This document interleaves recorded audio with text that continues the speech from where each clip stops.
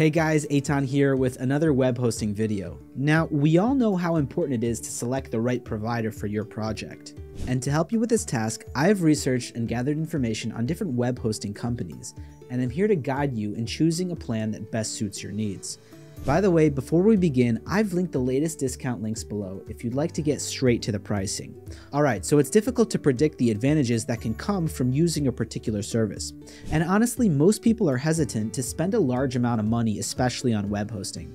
From my own experience, a great option for those who are just starting out or are uncertain about their project's future would be Hostinger. It's incredibly easy to use with its user-friendly H panel, and the plans are affordable, with options starting as low as $2 per month. However, it's important to note that in order to access these lower prices, a longer hosting commitment is required. For example, the cheapest option is a 4-year commitment, though do keep in mind that after the initial subscription ends, it will be renewed at around $10 a month. This may seem like a large investment for someone new to web hosting, but it's actually worth considering since you're getting four years of service for less than $100, which is a lot of value for the money. Though it's important to note that Hostinger may not be the best option if you're looking for a shorter term hosting solution. If that's the case, then you can consider other great options such as Bluehost.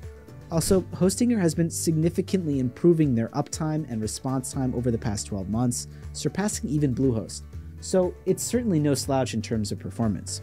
And thanks to Hostinger's servers being spread across the globe, it has some of the fastest website loading speeds. Overall, Hostinger is a cost-effective hosting option that consistently provides good performance results for simple WordPress hosting and a ton of features that make Hostinger's plans a huge bang for the buck.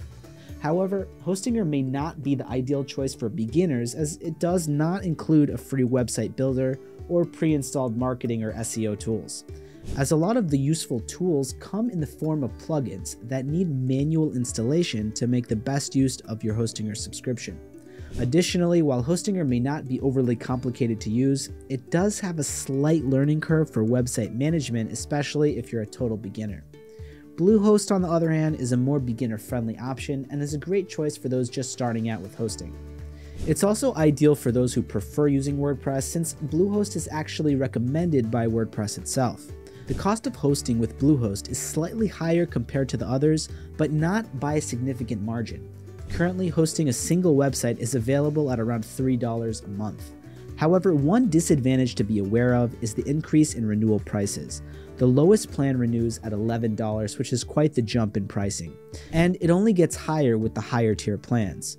But Bluehost does excel in hosting for shorter term projects and offers great discounts for those who choose annual billing. Now, while Bluehost has some good features, it also has some limitations, specifically in terms of storage space and pricing. Their cheapest plan offers 10 gigabytes of storage, which is sufficient for a single website, but may not be enough for multiple websites. In contrast, Hostinger's cheapest plan offers 50 gigabytes. But besides that, the website management is easy to use with options for both a traditional control panel and a custom dashboard, with one-click WordPress installation. So to summarize, Hostinger is the best budget-friendly option that offers excellent performance and a whole lot of features. It's perfect for those who are willing to learn a few technical aspects, and this provider is suitable for small to medium blogs or portfolios. As for Bluehost, it's user-friendly and packed with features, making it a great option for those just starting out and looking for exceptional customer support that holds your hand throughout the entire process. And don't forget, if you're interested in either of these providers, be sure to check the exclusive discounts linked in the description below.